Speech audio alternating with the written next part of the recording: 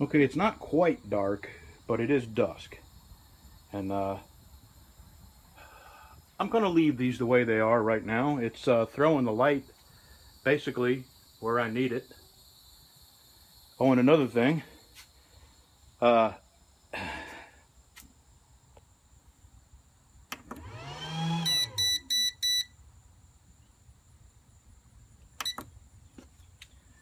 I had that inverter. I've, it's brand new. It's never been used, but I've had it about six or seven years. And uh, it's a 3,000 watt inverter. It's not a pure sine wave. It, sine wave. It's a modified sine wave. Uh, but I bought it with my Petro trucker points. I used to fuel up in, uh, not Gila Bend, uh, geez. It's at the intersection of 8 and 10 in Arizona. What's in the, oh, for crying out loud, Casa Grande. The Petro in Casa Grande. I used to fuel up there, oh, two, four times a week. And I'm talking lots of fuel. Uh, and I would get, uh, you know, you get points per gallon. And I bought this with the points on my uh, rewards card. And it was about 300 bucks, which is probably double what it's worth because anything you buy in a truck stop, uh, they tack on 50% uh, more anyway. Anyway, just uh, thought I'd give you a little update. I'm still still having fun out here with all my lights. Alright, it's night. Well, it's evening. I'm going in. I'm take a shower. It's been a hot day. You guys ready to go in? Where's Breezy? Breezy? You ready to go in? Let's go in. Okay, it's dark, so uh, I'm going to show you what, what the lights look like. Are those some bright lights or what?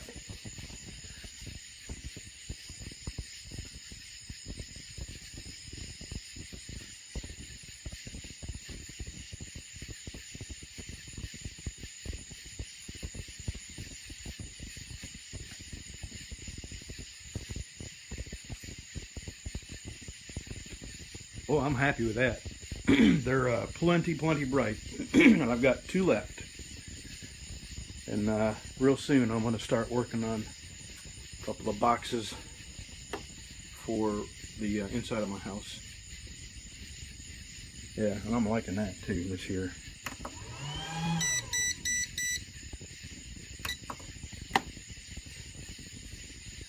Alrighty.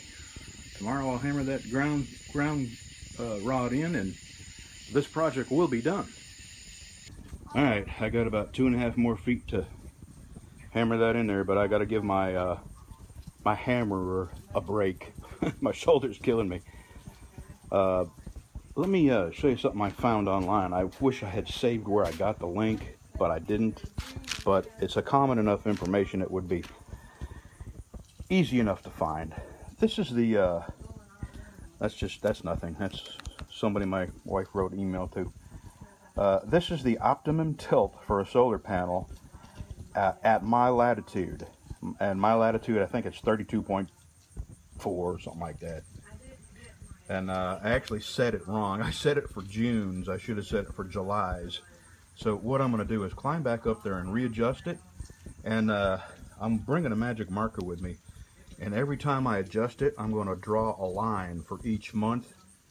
So if I do get up there and adjust it every month, uh, you know, I'll, I'll know where to set it for every month. But I just can't see myself getting up there every single month and adjusting it. So like uh, July, it should be 74 degrees from horizontal. Or actually, that would be 16 degrees from horizontal. 74 degrees up from vertical. I guess that's how you go.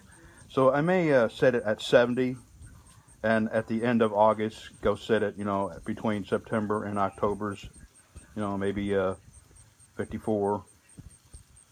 I'm going to do that. So I'm going to climb back up there and set this for uh, 70 degrees.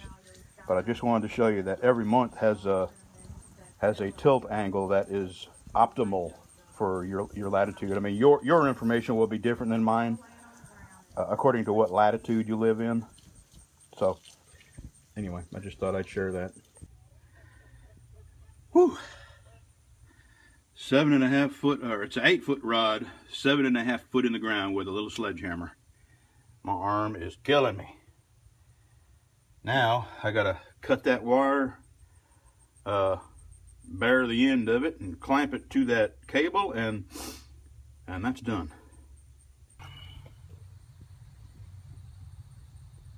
I don't have a cable clamp, but that'll have to do till I get back to town. Alrighty, on to the next project.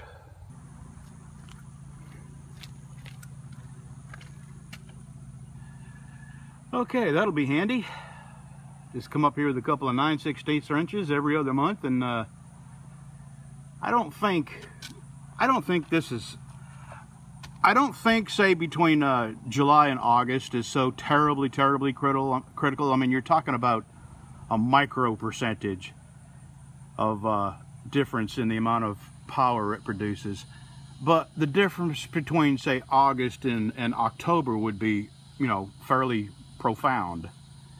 You know, I'm, I'm learning this and, uh, you know, this is my first endeavor into solar, but I do understand where, where the angles uh, would make a difference, but uh, not, not a few degrees. But, uh, you know, some of these angles are, are the difference of uh, like uh, 82 in July to uh, 34 in December. That would make a huge difference. Okay, you know what?